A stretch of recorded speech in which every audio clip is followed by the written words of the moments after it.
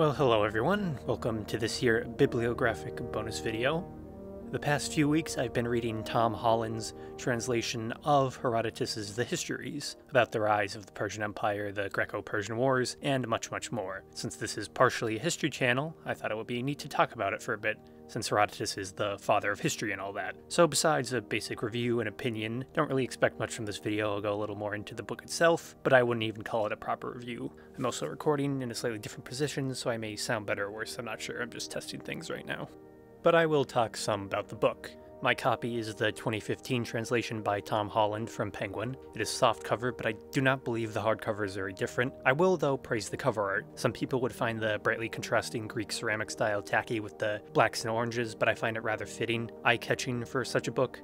There are plenty of other translations, but I believe this one is the most recent and the most modern. If you're interested, there are older translations online, both freely available and easily accessible, by George Rawlinson and CJ Macaulay. Uh, you can find them as PDFs or just normal text documents on some websites but I would recommend Holland's translation. I do not speak Greek, so I could only go with a translation, a solution that has its own inherent issues, but Holland is an accredited scholar, and his translation of Herodotus's prose flows easy. Besides some factors inherent in the original text, long lists of names and references, it was a breeze to read.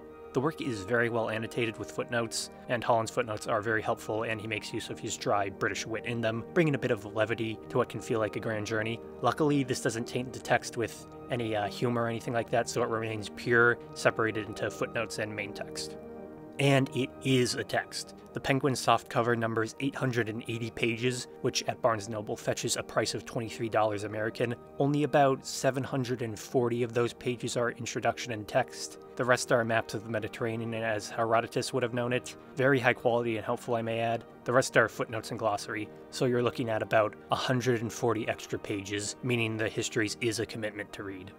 Is it worth it? The Histories is not easy to approach. Even as an experienced reader of Greek history, it can feel like a hurdle.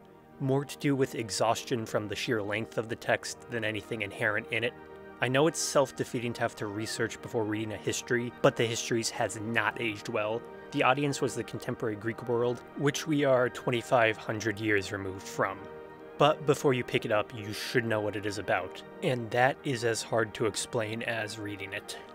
Herodotus' style is rambling and schizophrenic, a medley of sources and anecdotes. The introduction compares Herodotus to reading a series of Wikipedia hyperlinks, and it is very, very apt. Unlike with Thucydides, whose history is very laser focused, Herodotus rambles all over the place. That is not to say it's a bad thing, but it is very dense. Very, very dense. Herodotus even acknowledges this.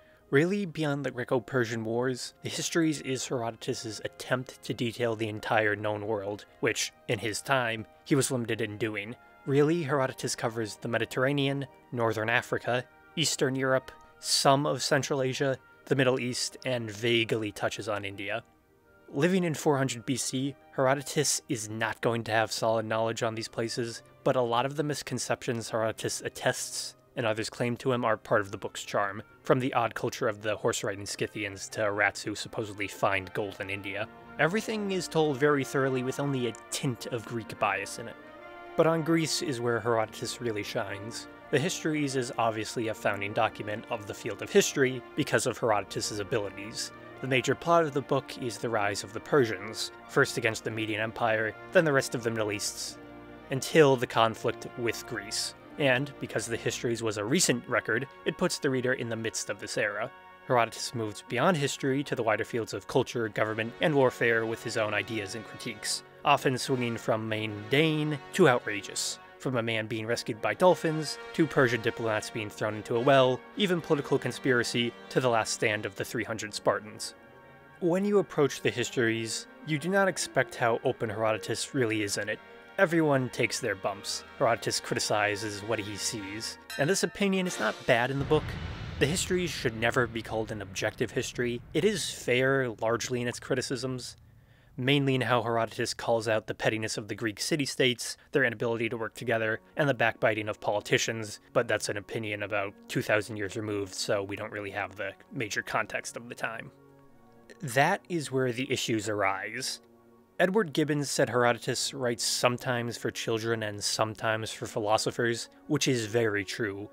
What each section focuses on is a gamble. Because Herodotus relies often on anecdotes told to him or his own experiences, sections can often feel like a patchwork. Compounded with this is the list of names and locations Herodotus often evokes. He expects familiarity from his audience, which the modern world lacks because the world is over 2,000 years lost from that time. You're going to get some things you don't expect or even know about. Luckily, the footnotes, maps, and glossary alleviate that in this edition, but I have no idea how bad it would be for someone with no prior exposure approaching this.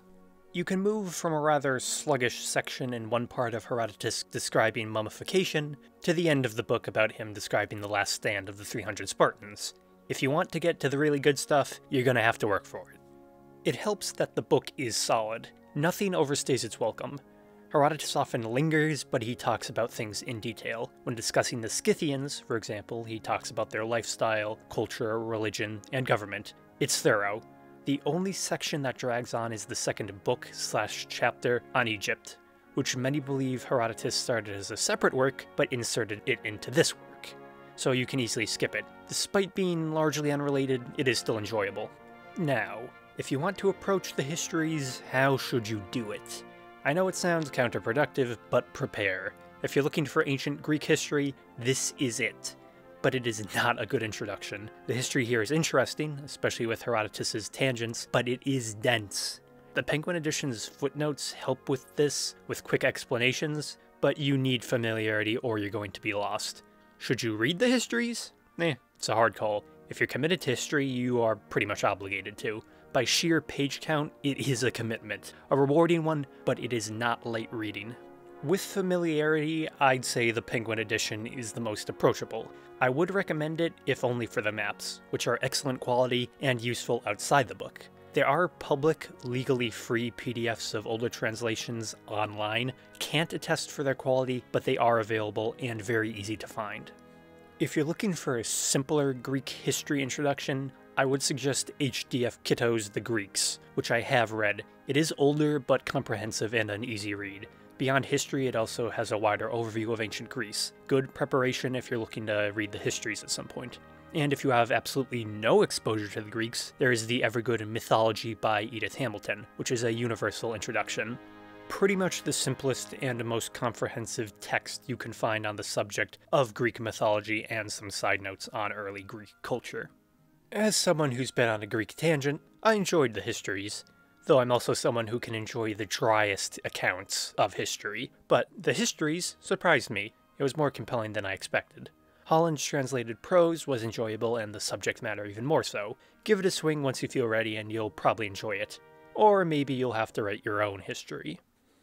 Alright, I hope that wasn't too awful. Not really a review, but I wanted to get my thoughts out there on the book. I hope I at least got across everything I wanted to precise overview, text, and some opinions.